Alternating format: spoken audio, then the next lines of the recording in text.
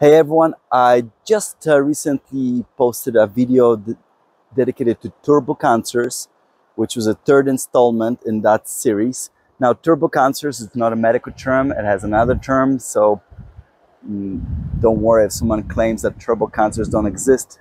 They're just called something else in medicine. Hyperprogressive disease, if you're curious. But anyway, what I didn't mention in that video, in that third installment, which was dedicated to how glutathione could be contributing to the development of turbo cancers. That's an antioxidant chemical, which is normally what you want. It's desirable in your body. But in this context, with elevated IgG levels as well as cancer present, it's not a good thing based on studies on mice.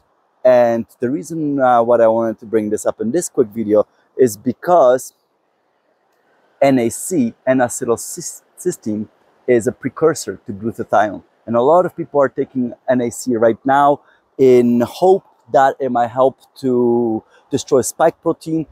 And therefore, if you consider using NAC, maybe also investigate your IgG4 levels if you've been mRNA vaccinated because there's clear evidence showing that the vast majority of mRNA vaccinated individuals post-immunization do produce IgG4 antibodies against spike protein.